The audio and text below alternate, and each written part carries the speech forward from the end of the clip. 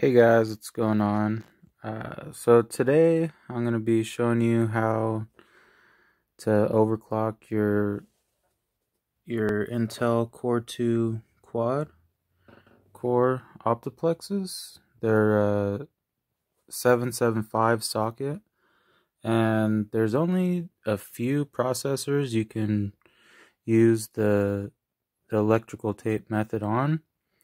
So I'm going to be telling you guys which ones I've been successful with and which ones either won't work or they'll just put your computer into a limp mode. So let's check it out. Alright, so this chip right here is the most common one to use for the BSEL electrical tape mod. It's the Q6600 Core 2 Quad and it's at 2.4 gigahertz. So when doing the mod on this CPU, you get uh, you get boosted up to 3 gigahertz.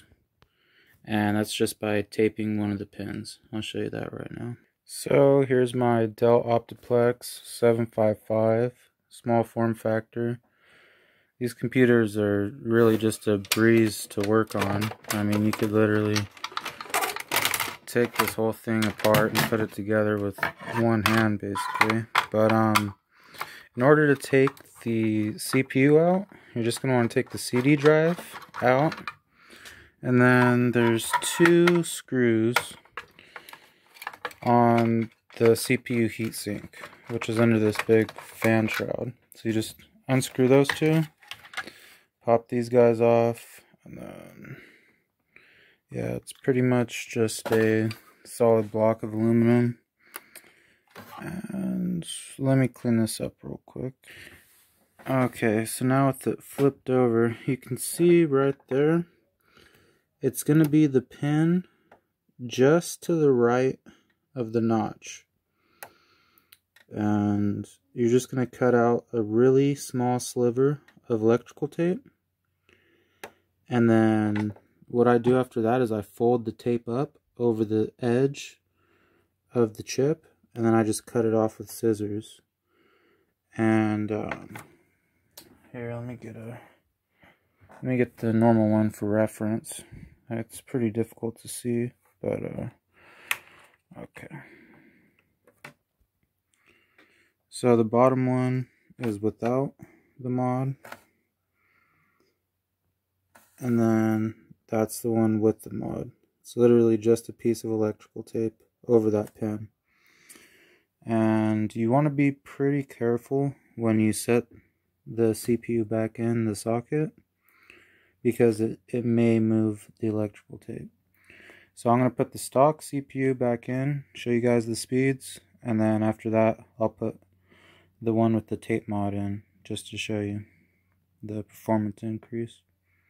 Alright, so with the stock CPU in there you can see that our core speeds are only going up to about 2.4 gigahertz and that's just the stock speed.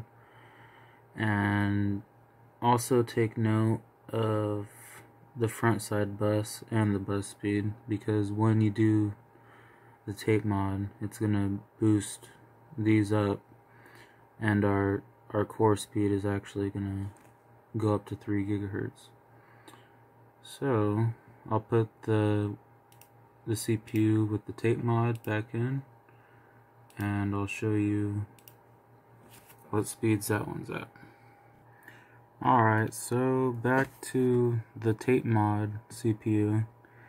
You can see that our core speeds have jumped up to just about 3 gigahertz and the bus and the the front side bus has both jumped up pretty significantly.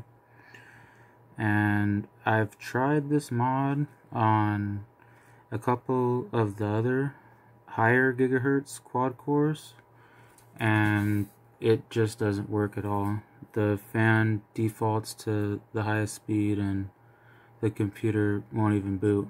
So um, yeah, as far as like stock motherboard and stock chip goes, I would say go for the Q6600 because anything faster and it's it's not even gonna boot because it's gonna it's gonna shoot this up too high and it's it's gonna not let it let it run. Um, I have tried it on a couple dual cores as well and the ones I've tried it on um, it didn't work either so the Q6600's pretty much gonna work every single time unless maybe your motherboard doesn't support it. But practically all Dells will support this CPU out of the box from this generation. Um, well, Dell Optiplex. There's a few like the Inspirons that use Celerons and whatnot, and those ones won't even take take a quad core, even updating the BIOS and everything. So. I would just stick with the Q6600 for an Optiplex though.